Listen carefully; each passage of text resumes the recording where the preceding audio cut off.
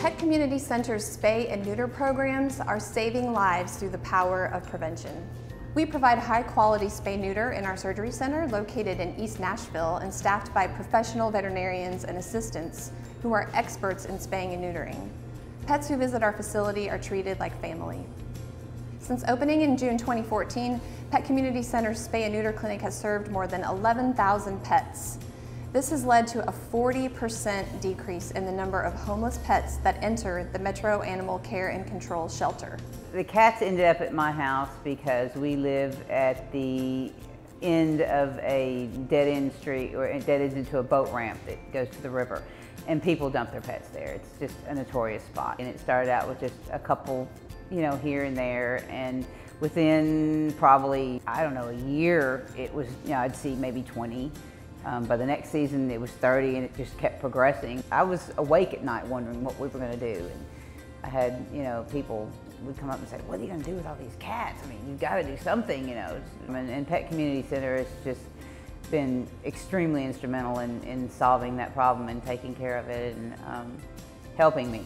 They did most of the trapping actually, put traps out and um, caught the feral ones and then took them to the center and uh, spayed, neutered, whatever needed to be done. And if it hadn't been for Pet Community Center, I, I really don't know what we would have done. I, I first saw Charlie in a Facebook post from my coworker. So she had taken him in. He was very malnourished. He was so, so skinny. I think he was like 40 pounds underweight.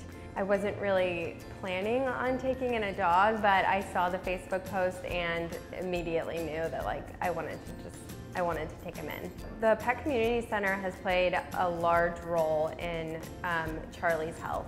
He eventually did um, test positive for heartworms, and because I hadn't prepared to bring Charlie in, there wasn't a budgeted, you know, a set amount of money to take care of that. Pet Community Center had a much more affordable price to treat him, and it was going to be possible in my budget.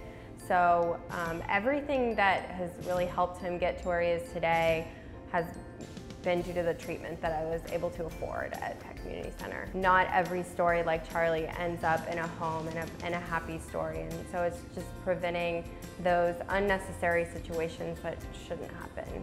Having a pet shouldn't be a privilege for people that have um, an allotted amount of funds. It's really everyone should be able to afford to have a pet and Pet Community Center makes it possible for people to do so. You can support our mission to strengthen the human-animal bond and end pet overpopulation by making a donation, having your pet spayed or neutered, or by volunteering. Pet Community Center is proud to be leading the way toward a day when every pet gets the loving, forever home that they deserve. Thank you for your support.